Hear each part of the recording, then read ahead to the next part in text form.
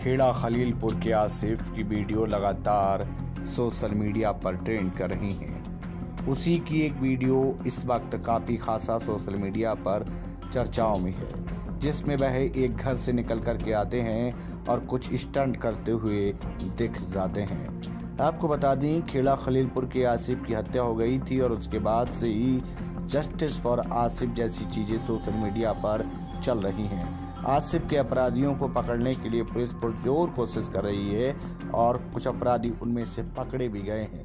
आपको बता दें, पुलिस का कार्य इस समय पर सराहनीय रहा, लेकिन वहीं आपको बता दें, सोशल मीडिया पर जो आसिफ की वीडियो है, ये पुरानी वीडियो खूब ट्रेंड करती हुई नज़र आ रही हैं। और ये वीडियो आसिफ के जो चाहने वाले हैं उनको कहीं ना कहीं भावुक कर देती हैं। आपको बता दें आसिफ जो कि एक जिम ट्रेनर थे और मज़बूत कद काठी के लिए जाने जाते थे।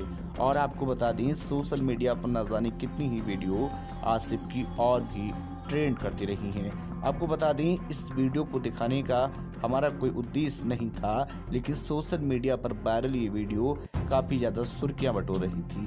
हम आपको बता दें, ऐसे में प्रशासन आपसे अपील कर रहा है, भाईचारा बनाए रखें, हौसला बनाए रखें और हिम्मत बनाए रखें। कानून व्यवस्था निश्चित ही आसिफ को न्याय दिलाएगी, ऐसा लोग